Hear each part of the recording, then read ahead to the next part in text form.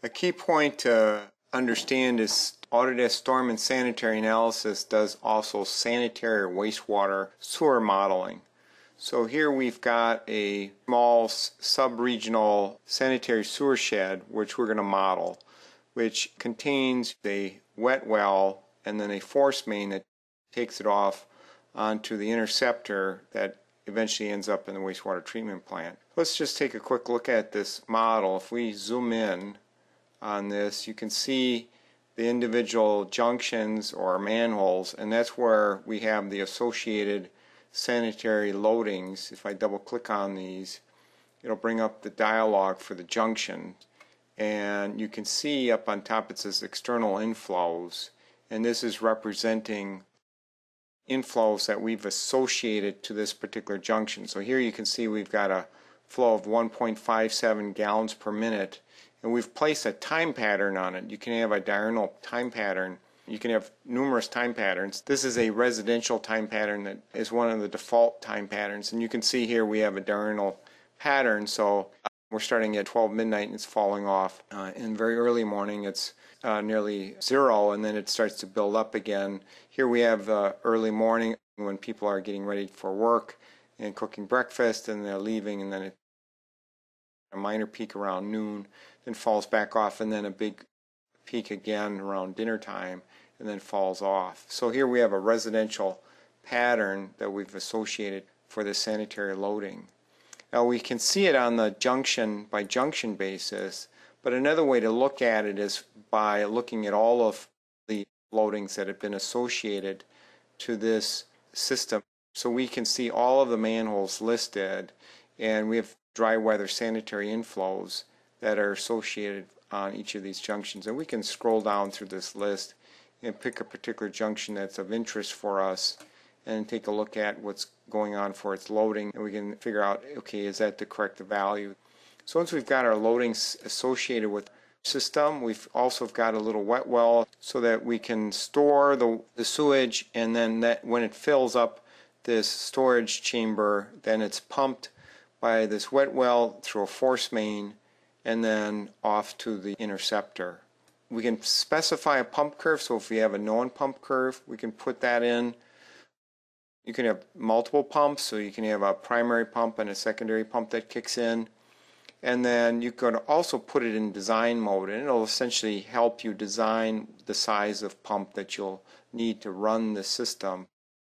And then you can set up some operational controls so that you turn the pump on and off based on what the depth in the wet well is. Let's go ahead and run the simulation. Okay, and there it's finished for us. Let's go ahead and close the analysis dialog and we can start to see what's happening with this. So I'm interested in what the loading is that's coming into this wet well. So I can right click on that and I can say display time series plot.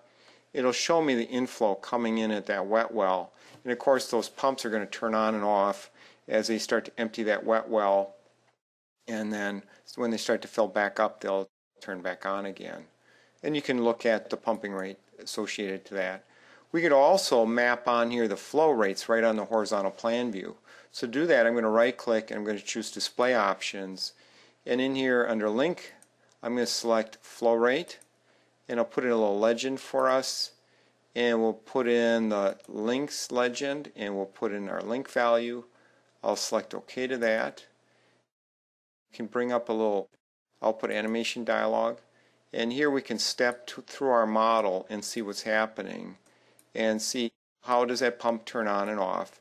And we can actually animate this and we could record that and play that back as an AVI file or a WMV file. There's a variety of different video formats that we we provide to look at that. Similarly, you could look at that from a profile view.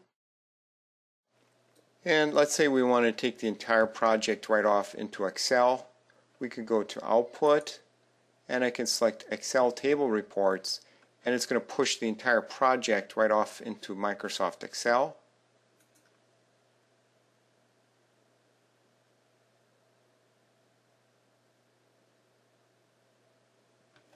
And here we have Excel and we can see the report.